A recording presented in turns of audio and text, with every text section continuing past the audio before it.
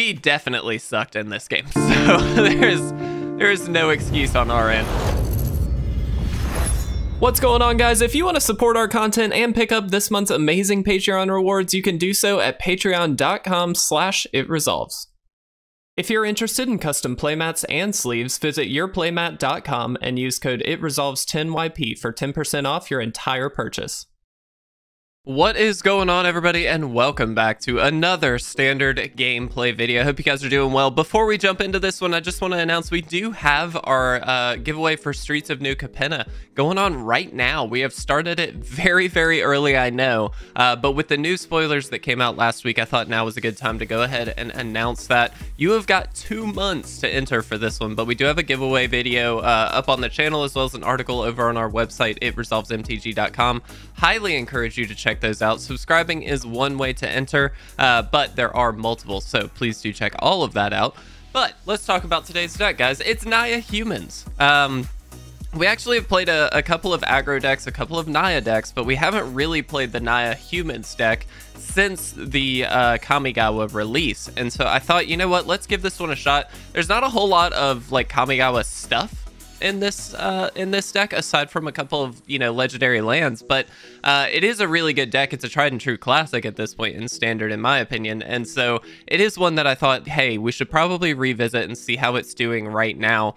And I'll be honest, it looks like it's set up to do pretty well. So uh, to talk through this, obviously we've got a heavy skew towards white here, uh, especially in the early turns of the game. The one and two drops are exclusively white. Uh, we've got the Hopeful Initiate as our our single one of you know kind of thing uh, for the one drop slot here but it's a one two for one with training so it's going to hopefully grow as we continue through the game. Uh, and then on top of that you can remove some counters to destroy an artifact or enchantment. That alone, that ability alone, I think is really important. Uh, those those one one counters don't have to be from the Hopeful Initiate, and they deal with artifacts and enchantments, both of which, uh, especially enchantments right now, are very prevalent because of the new Kamigawa set. Uh, and so I actually think this card is very, very well positioned in the meta, uh, and very happy to see it here. Intrepid Adversary, obviously a big lord for the board is the idea here. Uh, you can just play it for two and you've got a 3-1 lifelinker, which is perfectly fine. However, uh, ideally you'd like to be able to bolster up your board with that extra ability uh, throw some counters on it and get some one ones uh, or plus one plus one counters on everything essentially. Uh, Luminarch Aspirant going to be throwing around those one one counters. We've seen this for a long time and it's a fantastic card. Uh, Thalia, a card that you know, we we see in these kinds of decks really often because it obviously makes a lot of sense in these kinds of decks. Uh, it slows down non-creature spells in general. It's also a first striker, and so when you throw those 1-1 counters on it, it actually becomes a much heavier threat than a lot of other, you know, just a, a regular 1-1 or a regular 3-1 or whatever that first strike makes it really difficult to deal with in combat, uh, which is huge. So very happy to see this here, of course, as the full four. Uh, now, kind of counterintuitive to having Thalia in the deck. We do have Valorous Stance, but again, keeping in mind that these are very much like, I, I believe the only non-creature spells, yeah, in the deck. Uh, and just as a 2-of, so it's not necessarily going to be a, a situation we see a lot happen, but it is a card that will get taxed with Thalia, but still something that is very useful for our deck. You can give Indestructible to a creature or destroy target creature with toughness 4 or greater that's both both of those are very lucrative for our deck, and so we definitely want to have those here. Uh, in the three drop slot, more usual suspects Brutal Cathars, Elite Spellbinders, and Adeline. Uh, Adeline being one of my favorites uh, personally for these kinds of decks. Uh, but uh, we also have Minsc, uh, Beloved Ranger, which is not a card, surprisingly, that I've, I think, ever played with. I might have played with it once. Uh, 3 3 for 3 when it enters the battlefield, create Boo, a legendary 1 1 red hamster token with trample and haste. Absolutely adorable token.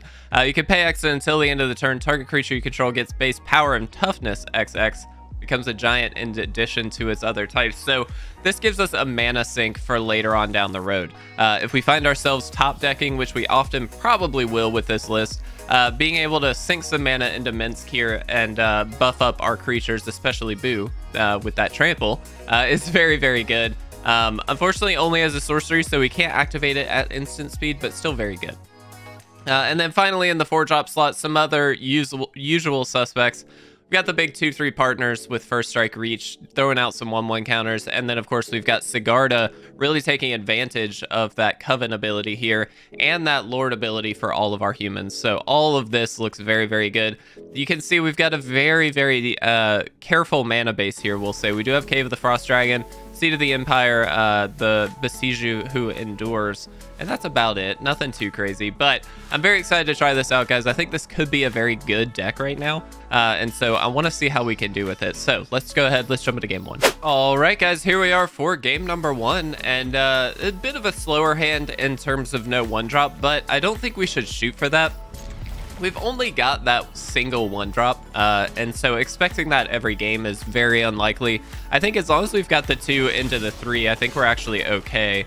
Uh, and this is actually pretty perfect because we do have all colors of mana, which means we can actually hit the Beloved Ranger on schedule, uh, which is pretty perfect for us. Uh, and then being able to Thalia something here is very good as well. Uh, interesting, so they we drew that after the fact, but that's fine. Uh, let's go ahead and drop that Thalia here.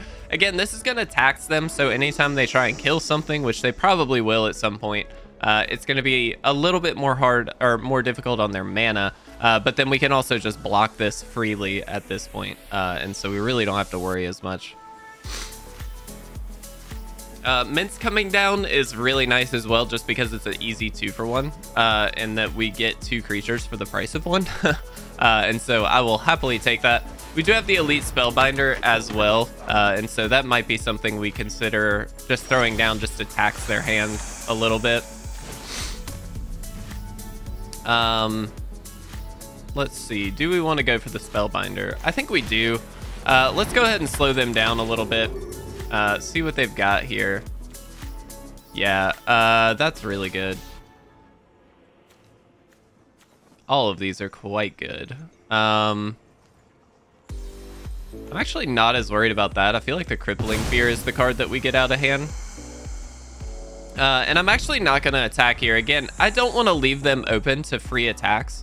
Uh, when they have the ninjutsu deck, I'm not thinking that uh, us being overly aggressive right away is the best option. I think what I'd rather do is leave that Thalia up for basically a free block when we know they have no removal. This being slowed down to the level that it is is also going to be very helpful for us because they're stuck on land. They don't have anything. Uh, and so, oh, well, there we go. Uh, but this really is going to be a big slowdown for them, uh, which is helpful for us. Uh, now, there we go. We needed a white source and we got one. That was absolutely perfect. Um, what do we want to do? Um, so I think we do this. Uh, let's let's go ahead and throw some counters here. Um, and I am going to attack in.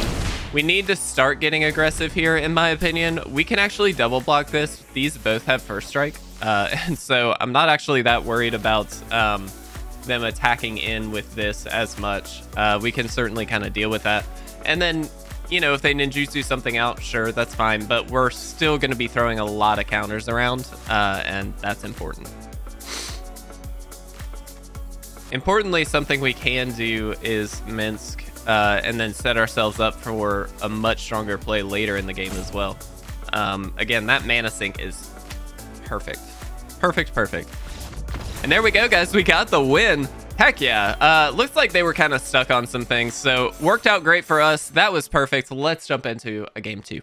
All right, guys, here we are for game number two. And uh, yeah, this is pretty easy keep. I mean, we've got the one, and we do skip the two drops, of course, here, but uh, we actually have some really good three drops, and of course, uh, the partners here on four. So I'm feeling pretty good about this.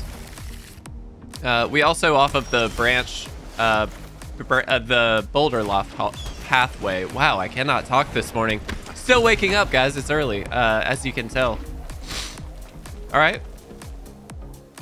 Don't love this. Uh, that makes me think, is it, is potentially the way that they are going here, uh, which is obviously a potential problem.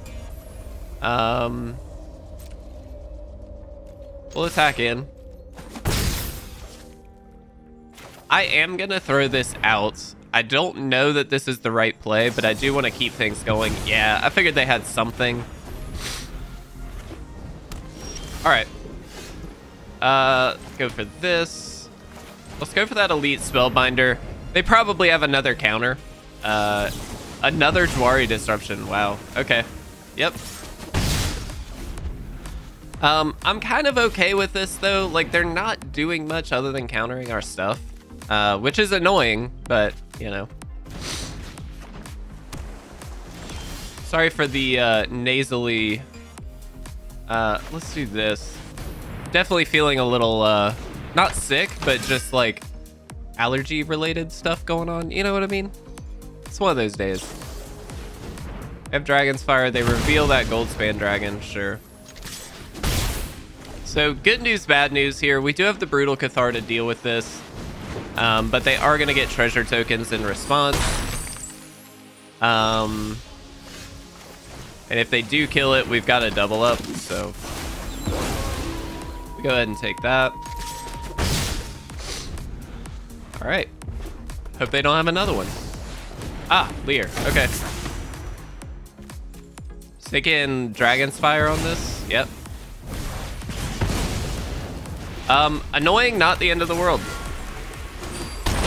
Very loud, by the way, uh, in my ear. Uh, let's Brutal Cathar one more time. Oh, they have Jwari Disruption. Ugh. They didn't play it. Uh, interesting. Okay. Well, they must have another just burn spell here. Or they can just... Ah, yep. Alright. Well, they kind of are just wrecking us. We're also pretty stuck on land here, which is frustrating. Um, if we had any land, we could get something down, but we've drawn basically every four drop we could have. That's not going to help us. I'm really surprised they're not Jwari Disruption-ing, but I guess they just don't need to. I'm going to go ahead and good game them here. They just definitely have us. Yeah, that was a quick, quick game. Man, we lost. That was really, really bad. Uh, all right, cool. Let's jump into game three. All right, guys, here we are for game number three. Uh, these are going pretty quickly. I think this is an okay keep. We can lead on the Aspirant, uh, which I do think is the right call. And then we have got Brutal Cathar to follow that up. Looks like... Oh, no. Okay. Uh, I thought it was going to be a mono green deck, but obviously not the case, uh, which is perfectly fine. Um, hmm. Doesn't really matter which one we go with there, so I'll go ahead and do this. We will lead with the Aspirant and get that counter on that. Um, they will definitely have removal in this deck. uh, there's basically no way they don't. Um, so I'm thinking we're going to have a bit of a rough time, but that Brutal Cathar might help us out. We'll see. Uh, we do have the Minsc available next turn as well. We can drop that farmland and drop that down. Okay. Yeah. Uh, I mean, very good, but yeah, please attack in. Please, please, please. uh, that's a good later on card, actually. I'm pretty happy to see that. Um, so I think what we do is Brutal Cathar on one of the tokens, potentially. Does that work enough, though? Because they can just drop another creature. Yeah, I think we do it. Um, I think this is just the safe play, for sure. So go ahead and get a token out of there. Yeah. Uh, I'm going to put the, the counter here. That token just is gone now, which is why that's, I think, very important. And here, if they want to double block, we two for one, we kind of take care of the board here. That just means it's going to be trickier for them to activate that Esika's Chariot, which is kind of where I want them to be, if that makes sense.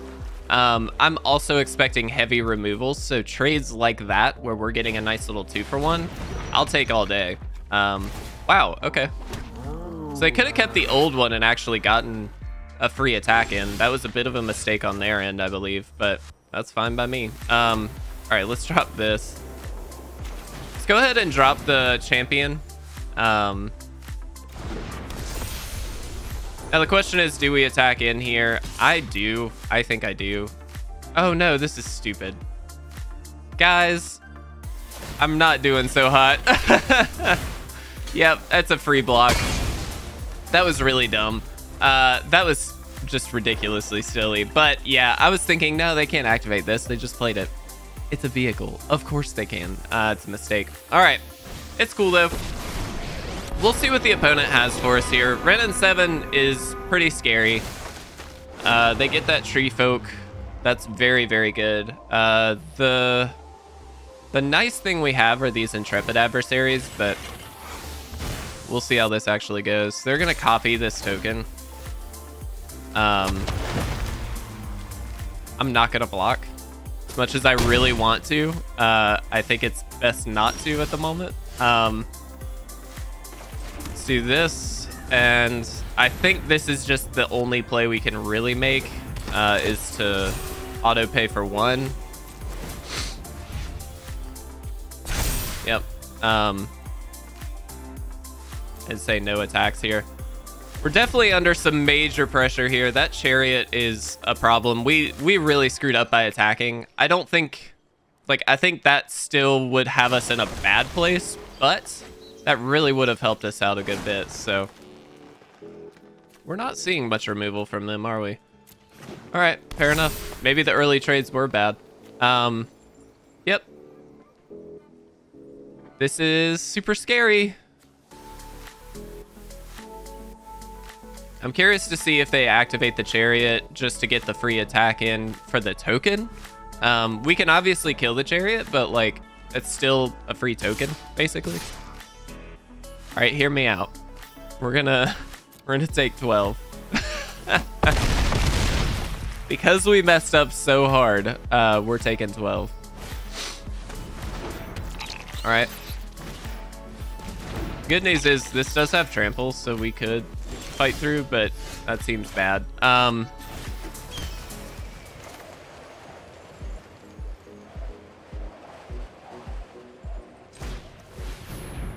so we pay two.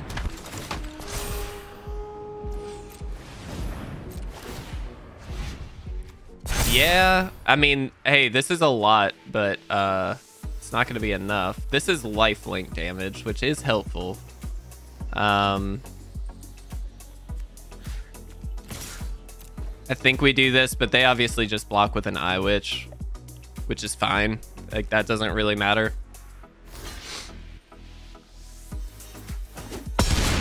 Um, if they had a Deadly Dispute, man, that would have been really bad for us, because they could have just, you know, Deadly Dispute which we know they have in the deck. They could have done that just to negate the damage. There's the Mascot Exhibition. So I'm assuming they have their next land, uh, which throws these up to 7-7s. Yep. I mean, we're pretty dead. um, yeah. Turns out Esika's Chariot plus Wrenn and 7 is still good, in case you were not sure. Um, yep. Wow. Okay. Pretty good. Um, yeah. All right, so we definitely block there. This sucks really bad, but we basically have to do this.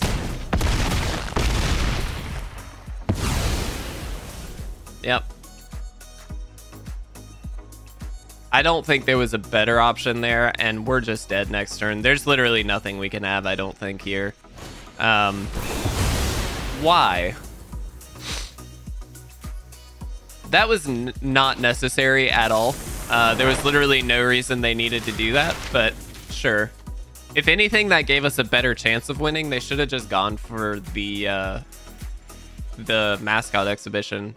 They would have had it. They whiffed. That's good.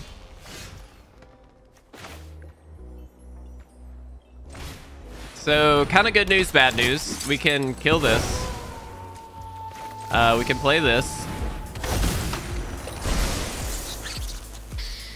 Uh, and this can just attack here. So now if they do want to create a tree folk, they have to kill the Wrenn and 7. That's kind of our best bet. It's literally our only bet. so now they just mascot exhibition. Yep.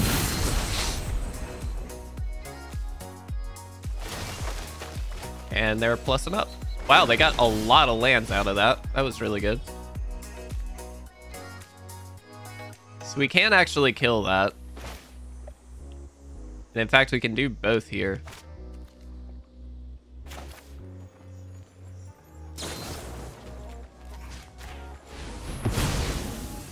We have to do that just to kind of get the attack in, I think. Uh, so where do we throw the counters?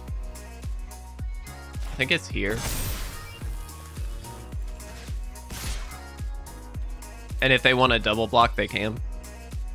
Uh, if they don't, then they're just going to kill one of these, I assume, just to hold on to that Wrenn and 7. Sure. Okay.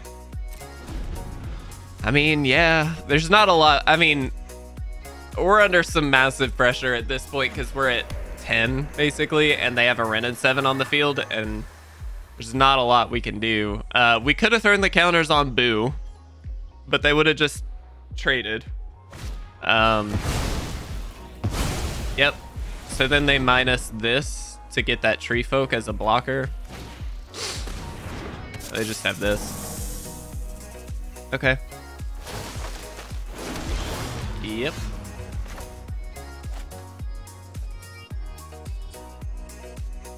So big. Uh, like, how do we deal with that? Um,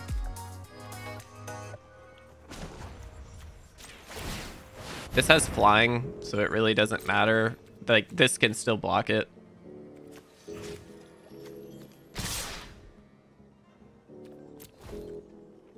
I don't know. We're pretty dead here, guys. It really doesn't matter that much. yeah, we killed Wrenn. All right, but we're like super dead here.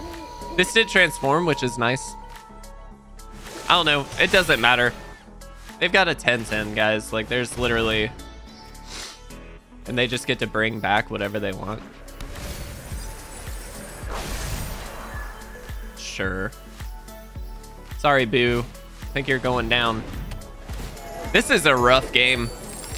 They easily could have won it without sweeping. I don't really know why they swept. That seems like a really bad play, but uh, we definitely sucked in this game. So there's there's no excuse on our end. We definitely messed this one up pretty hard, but I really don't know that we would have had a good fighting chance anyway. Uh, this has been a, a, a pretty rough one. Um, and I think we're seeing a pattern here that we're going to talk about in the wrap up, which isn't necessarily with this deck, but actually the previous deck. Um, okay. Uh, and I think, I think it's very interesting. All right, let's just drop everything. Because why not? I mean, it doesn't really matter where we throw this, you know? We can't attack. We do get to exile the token here, which is nice. So now they're kind of forced to sweep. Uh, but they get something back. Like, it's not a situation where we can really do that much. We play two just to flip this, but then they just sweep. Um, and I guess this does count. So, yeah, they get Wrenn and 7 back. This is rough. So rough. Um, and they're not, the frustrating thing is they're not just finishing the game. Like, they very easily could have by now, I think. This just seems kind of silly. Like, just attack in with Lair. Why wouldn't you just do that? Yeah, I'm going to concede here, guys. All right, let's chat about this deck.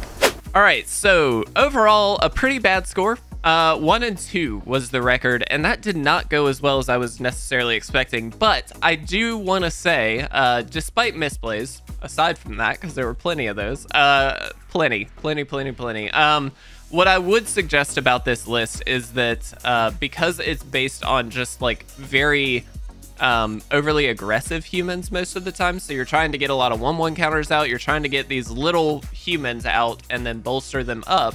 The problem you have is uh, just like Prismari commands, like take them out. I mean, we saw that with Izzet Dragons, you know, like it's very, very easy to just deal with one thing, which deals with a lot more things because of the way the deck works. Like if you deal with an adversary, you're probably taking down a lot of power level on the field as a whole. Um, and there's a lot of burn spells, there's a lot of removal spells, there's a lot of things that deal with all of that. And unfortunately, I think that's just the meta right now. I don't even know that that's like a, a fault of the deck because I think that's something you should expect out of this style deck. Um, but it's just not something that you can easily deal with when you're a Naya Humans deck and all you have are creatures aside from two spells. Uh, and those two spells don't do that much uh, against some of those things. Certainly some, but not a lot. Uh, and so for me, I think that's just the the reality of running a Naya Humans list is that you're going to run into that. Uh, and unfortunately, we did multiple times. Uh, Blood on the Snow on that last deck, and then of course just all the burn in the world uh, against Izzet Dragons. So fair enough. You know what? It wasn't that great, um, but we still had a fun time playing it. And honestly, I really like these these Naya Humans lists or just Humans lists in general because they do feel really good to play when they get going. Um, the fact that you can build up your board in multiple different ways, get counters out, do all that kind of stuff, the synergistic side of it is, oh, just amazing. Uh, but all that to say, guys, not a great time, but it still was a, uh, a fun time to play. Just not a great uh, record, I should say. Uh, don't forget, guys, uh, we do have our giveaway going on right now for Streets of New Capenna. We're giving away a draft booster box. Uh, please do check out all the details here on the channel or on our website. But I love you all very much. I'll see you again very soon. Have a fantastic day.